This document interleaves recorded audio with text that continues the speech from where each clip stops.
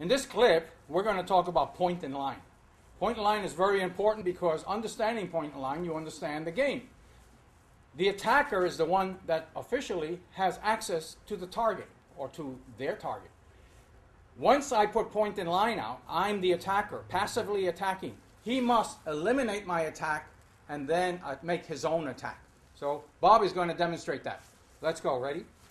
Okay, what happens now is the referee says, ready, and we say, yes, fence. I back off, and here's point in line. He cannot attack me right into it. Come on, cut right here. No, no, cut. I want you to come right in and cut. Okay. Let's do it again. Okay, ready? Okay. Ready, fence. See, I have point in line. I have the priority. But did I hit him? No. He scored. Do it again. Ready? Fence.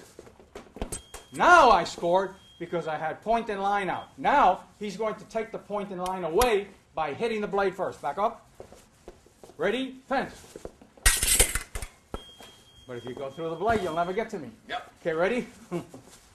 ready? Okay, wait a minute. Here. Ready? Fence. Good. Notice I touched him, but he took the blade away. He took my priority away, so he scored. Ready again? Hey. Ready? Fence. Oh. Ah. Keep insisting on going through the blade. Yes, I do. Okay, ready again. So it's only all you have to do is just wrap it. Tap it. Ready? Fence. Good. That was good. Okay. Ready? Fence. Oh!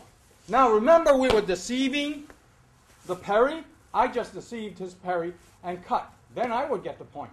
So that's the thing about point and line.